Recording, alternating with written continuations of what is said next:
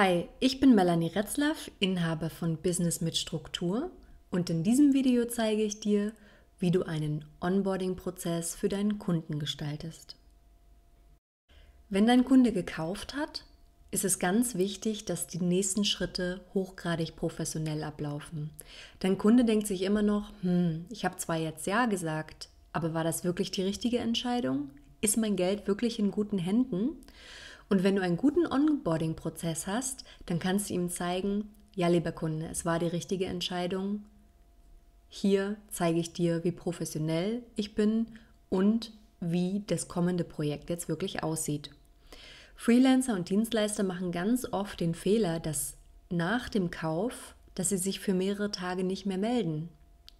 Der Kunde denkt sich dann, hm, was ist denn jetzt? Was passiert denn jetzt als nächstes? Ich habe dir mein Geld gegeben, jetzt möchte ich gerne wissen, was passiert. Das heißt also, wenn du einen richtig guten Onboarding-Prozess hast, kommst du mega professionell rüber und sorgst dafür, dass der Kunde keine Angst bekommt. Und ein Kunden-Onboarding-Prozess ist gar kein Rocket Science. Mein Onboarding-Prozess zum Beispiel besteht aus sieben Schritten. Und ich arbeite hier gerne mit dem Tool Process Street und habe diesen Onboarding-Prozess einfach standardisiert hinterlegt. Bei mir ist es so, am Anfang muss ich einen Kundenordner im Google Drive anlegen, wo alle Dokumente, die wir gemeinsam erarbeiten, reinkommen.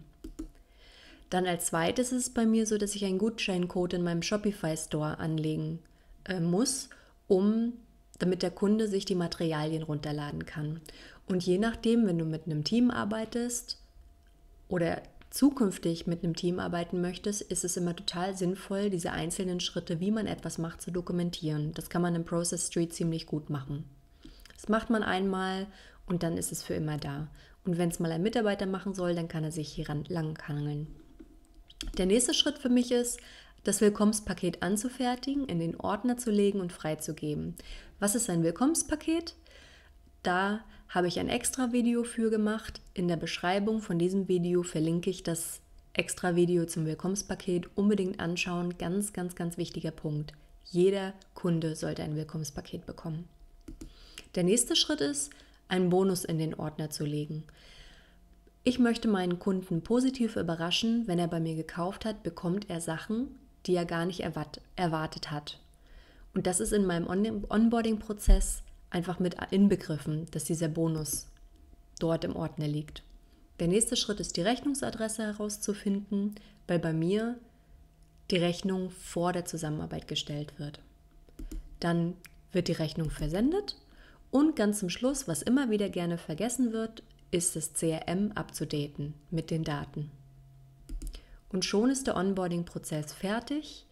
Wenn der Kunde bei mir gekauft hat, schaffe ich es innerhalb von drei, vier Minuten, die besagten Sachen fertig zu machen und der Kunde kriegt sehr, sehr schnell die nächsten Schritte. Ja? Wenn ich im Vertriebsgespräch bin, sage ich dem Kunden, hey, super, du hast jetzt zugesagt, du kriegst in ein paar Minuten von mir eine E-Mail, da steht alles weitere drin, die nächsten Schritte, mach dir keine Sorgen.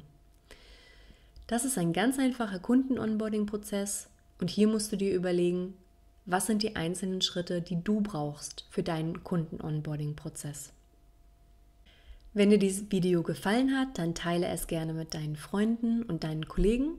Du kannst uns folgen auf Facebook, Instagram, YouTube und sogar Meetup. Und nicht vergessen, melde dich zum Business Insider an. Business Insider ist mein monatlicher Newsletter, wo ich viele verschiedene Ressourcen, Informationen teile und auch Sachen, die ich nirgendwo anders teile. Geh also auf business-mit-struktur.de und melde dich zum Business Insider an.